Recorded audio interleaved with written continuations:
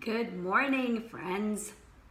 So, I wanted to start off by just saying emotions are addictive, emotions are programmed, and how we react to them is also pure programming and pure addiction. Now, if you don't know what I'm talking about, so just look at any time you have an overwhelming feeling or an anxious thought or you get angry it is nothing but programming. It's nothing but, it's just habitual. Most of us are habituated to have these experiences. And this morning, that's exactly what happened. I was finding myself getting so annoyed and angry and frustrated and overwhelmed with pretty much, I can give you the, the scenario, but that's almost irrelevant. And what I realized was I hadn't made time for myself. And when I don't make time for myself, that's often when these feelings come up. It's almost like I'm programmed to react when I don't make time for myself. And it's in a way, it's, I have gratitude towards these, these feelings or emotions that come up because it's telling me stop, take a minute, take a deep breath, and go and make time for yourself.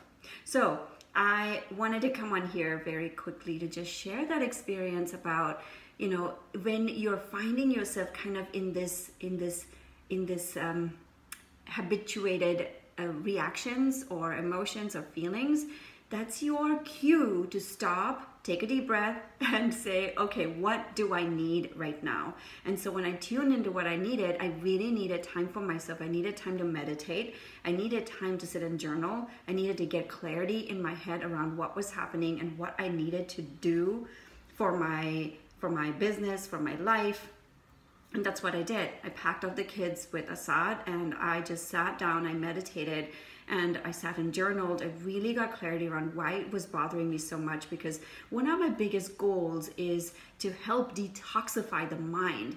The mind if, if we you know we often associate talk, detoxing with the body but the mind is also filled with toxic thoughts and it's as bad as toxins in your environment or in your body because when you have toxic thoughts it affects your it affects your entire day. So this is what happened right? This morning i was filled with these toxic thoughts and emotions and i was spewing it all over. I was yelling at the kids. I was yelling at assad and then i was like what the heck am i doing? Why am i doing this and it, it is it is like it literally causes havoc.